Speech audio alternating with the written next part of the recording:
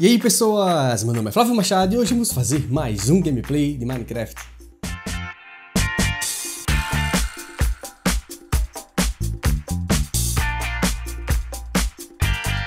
No episódio de hoje, pessoal, nós vamos brincar com um mod que parece mágico, mas ele é técnico, ele pode ser automatizado, tá?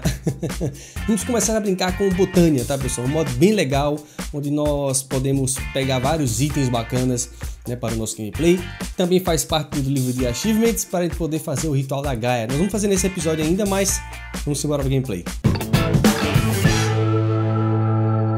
E aí pessoal, estamos de volta para mais um gameplay de Minecraft. Antes da gente começar esse gameplay, aquele recadinho que vocês já conhecem, beleza pessoal? Deixe seu like, deixe seu joinha, inscreva-se no canal, ative as notificações, assista o vídeo até o fim, porque fazendo isso você não só ajuda o canal, mas também diz pra mim, Flávio, eu quero que você continue fazendo gameplay desta série, beleza pessoal? Estamos de volta em Minecraft Sky Factory 3. Não tem muita mudança do que eu já fiz, certo? É, eu só concluí aqui as quatro turbinas. Falei que ia fazer três, mas acabei fazendo quatro. Tá? Todas estão girando em máxima performance, como vocês podem ver aqui, ó. Gerando 28.1 RF por tick, tá vendo? Ou seja, um geradorzinho pequeno aqui no meio, tá? Eu mudei algumas coisinhas, né? Botei, trouxe a parte de água aqui para cima, trouxe o controle aqui para cima, embaixo da plataforma, que eu nem decorei ainda direito. Tá escuro pra caramba aqui, velho. Nós temos o sistema aqui, né, do, do, do Refined, né, do Refined Storage, que a gente pode acessar o nosso sistema à distância e entregando os materiais que precisa, né, porque aqui, aqui também precisa de Yellorium, né, para poder trabalhar esse mini reator, gerando 260 KRF por tick, tá ainda? Nós temos 91 bilhão de energia já armazenada nessa bateria do Dracone. No episódio de hoje, pessoal, eu pensei na gente começar a brincar, a brincar com o RF Tools, né? Pra gente começar a brincar, a fazer dimensões. Porém, eu não tive tempo de estudar esse mod para poder fazer, tá? E como eu sei que isso aqui demora um pouco, é meio complicadozinho esse mod, eu decidi que nós vamos brincar com um mod diferente, tá? Vamos juntar aqui um livro e um e um sapling, né, uma plantinha pequena para formar o Lexica of Botania, tá, pessoal? Nós vamos começar a brincar com o Botania, tá? É um mod bem legal, nós vamos brincar de jardinagem mística. tá? Então nós vamos fazer o seguinte, vamos pegar um bloco aqui que eu nem mostrei para vocês ainda, mas eu quero usar. O Builder, ele é um bloco construtor, em que ele ajuda a gente, obviamente, a construir. Vamos colocar o builder, tá? Em cima do builder a gente coloca um baú, onde ele vai pegar os blocos que ele precisa, tá? Nós vamos colocar aqui todos os, os blocos de terra. E a gente só precisa desse shape card, né? O shape card é onde, onde a gente configura o que, é que a gente quer fazer. Eu quero fazer, inclusive eu usei esse, esse bloco para construir esse, essa nossa casa aqui, tá? Esse nosso monumento aqui. Vamos lá, eu quero fazer um... Ah, tá, acho que esse capa de cylinder é o que fecha, pronto, exatamente é o que fecha. A gente só tem que aumentar o tamanho dele agora. A gente configura aqui a largura, tá vendo? Vamos colocar então 20 por 20, vamos botar o dobro do tamanho. Só quero um só. Pronto. Então a gente só precisa ter uma alavanca. Eu consigo acessar o RF daqui. Quer dizer, o grid não.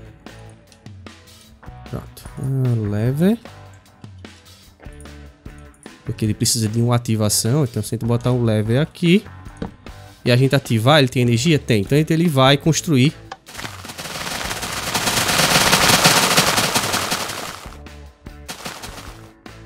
Dá uma lagadazinha, mas é isso aí. Pronto, então nós já construímos aqui a nossa plataforma. Vou deixar isso aqui, aqui por enquanto. Então vamos lá, para gente poder começar a brincar com o Botânia, tá? Nós vamos aqui no nosso tutorial, mecânicas básicas, tá? A gente precisa fazer uma coisa chamada Floral Fertilizer. Então, com a ajuda do nosso maravilhoso sistema, eu produzi vários Floral Fertilizer, tá? Que é bem fácil de fazer, pessoal, tá? É só ó, utilizar aqui é, dois, duas cores, né? É, amarelo e vermelho com o Bonnie Meal e a gente faz um Floral Fertilizer. Acho que é uma maneira mais fácil de se fazer. E se você tiver é, a, a a fábrica de sementes, como eu fiz ali, nós podemos fazer né, a Dye Essence, né, que pode ser feita a tintura de graça praticamente. Então, com o Floral Fertilizer, a gente joga aqui no chão para a gente poder conseguir flores do Botânia, tá? Porque as flores do Botânia são flores místicas, é o que a gente utiliza para ter cores. Oh, meu Deus do céu, aqui tá. Agora a gente tá tendo cor, velho. Bom, eu acho que aqui tem flor suficiente, né? então vamos lá. Feito isso, é só catar, velho. Pronto, pessoal, para dar uma adiantada na nossa vida, eu coloquei aqui também é, um desses teleportes, tá? A gente pode trás para o servidor. E eu coloquei aqui embaixo o sistema né, do Refined, para a gente poder acessar o nosso sistema à distância. Flávio, para que todas essas flores? Simples, nós vamos utilizar as flores para poder fazer pétalas, tá? As pétalas é o que nós vamos utilizar para poder fazer a primeira flor do, do, do Botânia. Então, a primeira coisa que nós precisamos fazer, na verdade, é, um, é esse Petal Apothecary, certo? Ele é utilizado para a gente poder fazer as, as plantas que a gente precisa, tá? Então vamos lá, nós precisamos de, de, de, cobblestone, de cobblestone slab e de cobblestone para isso, tá? E nós precisamos de uma pétala de qualquer cor, tá? Então vamos, nós precisamos só simplesmente pegar uma dessas flores aqui, ó, para poder pegar as pétalas, tá vendo, ó? E a gente pode vir aqui e fazer o Petal Apothecary. Pronto, ó. E nós já temos aqui, pessoal, meio passo andado. Então vamos lá, eu vou mandar, eu vou mandar nosso sistema fazer uma pia. Tá? Vamos deixar a pia por enquanto aqui. E com um balde, a gente pode encher isso aqui com água, tá? Porque nós vamos fazer aqui a primeira flor que a gente precisa para poder iniciar no, no Botânia, que é, o, que é a Pure Daisy, tá? A Pure Daisy ela tem um poderzinho bem legal, que eu vou explicar a vocês, que para poder é, converter os blocos que a gente utiliza no Botânia. Mas vamos lá, a gente precisa de quatro pétalas brancas, tá? Dentro de um desse, de um, de um pétalo apotecário. Então vamos pegar aqui a planta branca, tá? Vamos converter em pétalas. Eu quero fazer, vamos fazer cinco Pure Daisies. Vamos fazer. Então o que, é que a gente faz, ó? A gente pega e joga quatro pétalas aqui, ó. Pronto, elas vão ficar aqui girando bonitinho. Agora a gente só precisa de uma semente. Que eu acredito que a gente tem um monte. Perfeito. E agora a gente, com as pétalas aqui e uma semente, a gente faz uma Pure Daisy. Perfeito. Então, vamos, vamos pegar água e fazer novamente as outras que a gente quer fazer. Pronto. Com as 5 Pure Daisies, a gente só precisa colocá-las no chão, ó. A uma distância de 3 para 3. E agora a gente precisa de, de simplesmente de stone, certo? E de madeira, ó. Pronto, com stone e com madeira, a gente só precisa colocar em volta da Pure Daisy e esperar ele, ela converter, tá? É só fazer e esperar. Perceba que tá até brilhando branquinho em volta. É só esperar que ela vai converter tudo. Pronto, como vocês podem ver, ele foi convertido aqui em Living Rock, né? em, em pedra viva e em living wood, né? Madeira viva em português. Então, esse é o material base que a gente utiliza para poder fazer as coisas do Botânia, tá, pessoal? Então, sempre que você for fazer mais, é só vir aqui assim, ó, e colocar para fazer mais. Vamos lá, com a Pure feita e com os materiais feitos, a gente vai começar a brincar com o Mana Pool, tá? Nós vamos começar a trabalhar com a geração de mana. Então, para fazer o Mana Pool, a gente precisa pegar os blocos da Living Rock e colocar assim. Então, essa vai ser o nosso poço de mana, certo? Nós precisamos também, nós temos que fazer é, é, uma varinha da floresta, que basicamente é uma varinha, é, é, é, tipo, é tipo uma wrench, né? É tipo uma, uma chave inglesa que a gente usa para linkar as coisas no Botânia. Então a gente faz aqui a varinha, ó. basta fazer é, na, na, inclinado e com duas pétalas próximas, nós temos a varinha. E vamos colocar o nosso mana pool em um lugar aqui, vamos lá. Nossa geração de mana vai ficar aqui. Pronto. Em seguida, pessoal, a gente precisa fazer esse mana spreader, né? O mana spreader, ele é o que recebe a mana que está sendo gerada e joga dentro do, do nosso mana pool, tá? Bem simples de fazer também. Mana Spreader, como eu falei para vocês, ele utiliza os materiais do próprio Botânia. Então nós temos aqui um Mana Spreader, que nós podemos colocar aqui assim, ó. Vamos colocar inicialmente aqui. Aí a gente pega a varinha, ó, e linka com o nosso Mana Pool. Perceba que ele está linkado. Toda a mana que ele receber, ele vai jogar aqui no nosso Mana Pool, tá? que no momento não tem nada gerando. Então nós temos que fazer a primeira flor de geração de mana do Botânia Então vamos lá, as únicas flores que a gente pode fazer agora, neste momento, para fazer mana é a Endoflame e a Hydroangias, tá? O problema da Hydroangias, né, ela utiliza água para gerar mana, é que ela dura apenas uma hora, depois ela vai se acabar, então você tem que ficar fazendo mais, tá? A Endoflame, ela queima material, ou seja, ela queima carvão, por exemplo, tá? Então a gente pode colocar é, carvão nela, madeira, coisas que queimam para poder gerar mana. Então vamos fazer algumas Endoflame. Aliás, é Endoflame, vamos lá, o que, é que a gente precisa para fazer? Ó, duas flores marrons, uma cinza e uma vermelha, tá? Tá, é... Uma atenção para a cor, tá, pessoal? Ela utiliza a cinza claro, tá? A receita... A receita é duas marrons, uma vermelha e uma... E uma cinza claro, que faz uma flame. Então vamos fazer as outras. Nós temos agora três Endoflames, que são as flores que geram mana, tá? Perfeito. Então, a gente vai pegar a varinha que a gente, que a gente fez, ó, a Living Wood, tá? Vamos conectar com o Mana Spreader, né? Vocês estão vendo aqui pelo...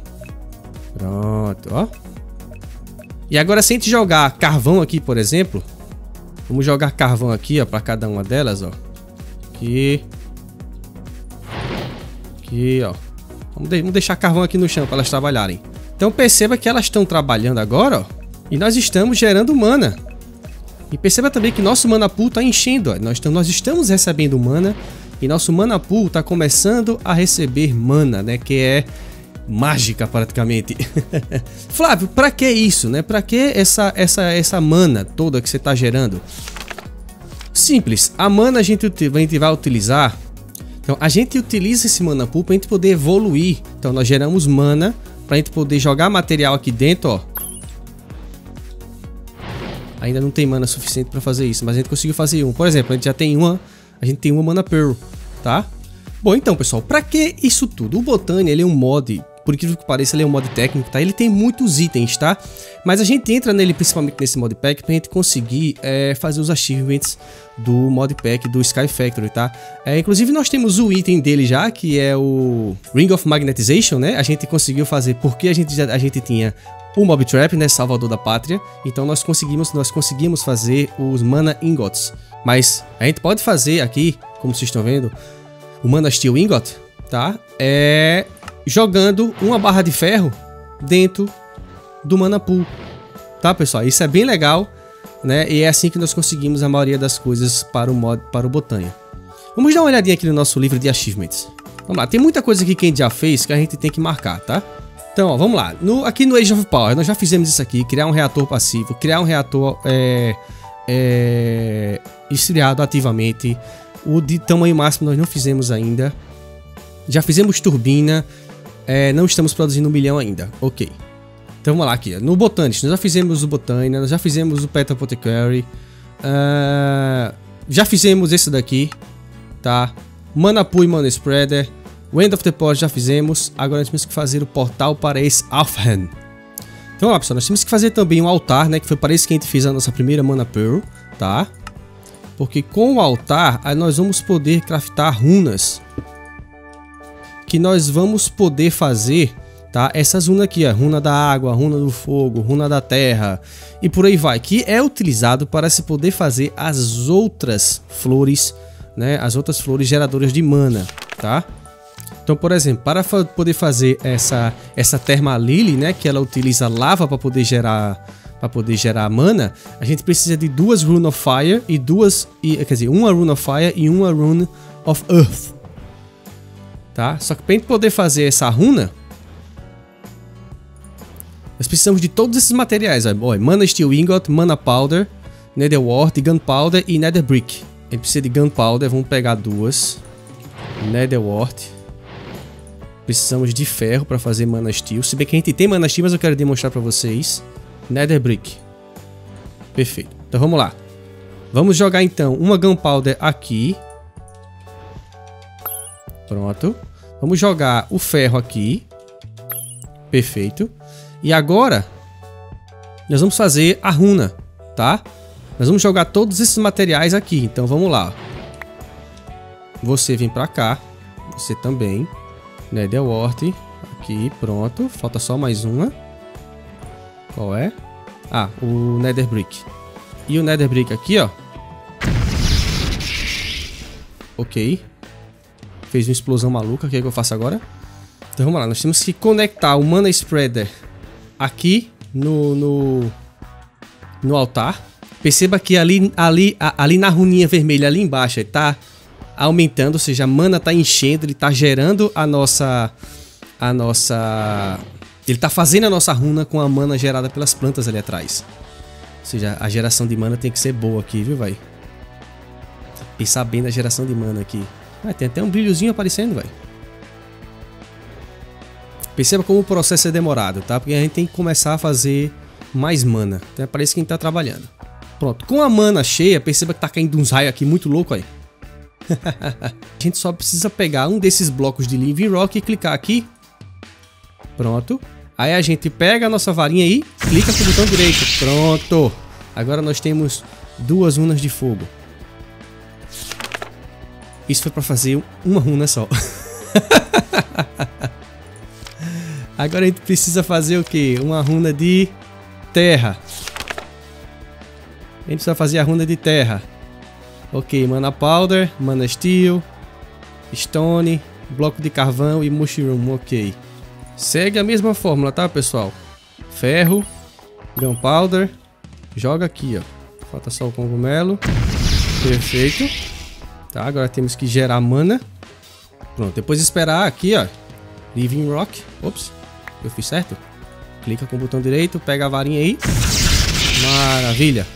E agora nós podemos vir aqui. No Apothecary. Por aquilo que pareça, pessoal, esse mod não parece, parece ser um mod mágico, mas ele é um mod técnico, tá? Dá pra automatizar isso tudo aqui, pelo que eu vi no tutorial. Vamos lá. Então tem duas laranjas, uma vermelha e isso aqui tudo aqui. Então vamos lá. Duas laranjas, uma vermelha, uma runa dessa e uma runa dessa. Tá certo? Ok. Falta só uma semente agora e... Pronto, nós temos agora uma Termalily, que é uma plantinha bem legal. Por que ela é legal, pessoal? Deixa eu é, fazer uma proteção aqui. Vou mostrar pra vocês. Pronto. Se a gente pegar um balde desse, encher de lava e botar aqui, ó. Vamos primeiro conectar ela com o nosso mana, né? Pronto. A gente colocar aqui. Desapareceu. Ah, não, ela já engoliu. Tá, deixa eu botar outra então. Pronto. Ou seja, vamos trazer pra cá. Meu Deus, tinha tanta mana que... O bichinho tá saindo do controle já, velho. Então, ó, perceba que nós temos uma grande geração de mana. Acho que eu tenho que fazer mais um desse aqui. Que é a Thermal Lily, ó. Filha da mãe tá gerando mana odiado, velho. Tá, então a gente gera mana pra poder evoluir. Então o que é que a gente vai fazer, pessoal? Vamos encerrar esse gameplay por aqui. No próximo episódio, nós vamos fazer o portal para Alfheim, tá? Que é um portal para a Terra dos Elfos. Nós vamos tentar fazer aqui o primeiro ritual da Gaia, tá? Que é um boss, é um chefão que a gente enfrenta, para a gente poder conseguir os alguns artefatos místicos do Botânia, tá? Que, é, que são bem legais, velho. Isso aqui eu já fiz isso tudo, velho. Já matei Chaos Dragon. A Dislocation. Isso aqui também já fiz. Bom, pessoal, então vamos encerrar esse gameplay por aqui. Próximo episódio a gente continua brincando mais, vamos fazer mais portal. Eu peguei o que não devia aqui. Mas é isso, vamos encerrar este gameplay por aqui, pessoal. Valeu e até a próxima. Então é isso, pessoal. Chegamos ao fim de mais um gameplay de Minecraft. Se você gostou, você já sabe. Deixe seu like, não gostou, pode dar o dislike, mas comente, porque a sua opinião é muito importante para este canal. Beleza, pessoal? Mais uma vez eu agradeço a sua visita. Assista aqui, ó, um episódio recomendado para você no canal. Passe mais aqui no meu rosto, inscreva-se, pois ajuda a gente a crescer essa maravilhosa comunidade. Valeu e até a próxima.